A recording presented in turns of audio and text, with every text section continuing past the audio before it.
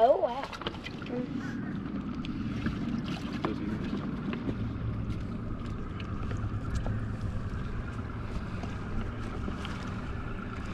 What were those ones, Drew? I, I think this was four six. This one.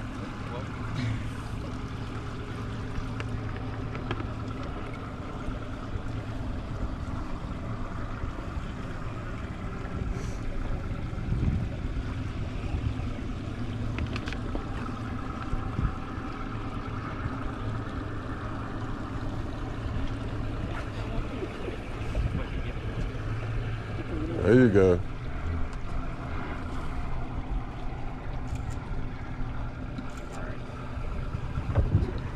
Good job, guys. Two big ones.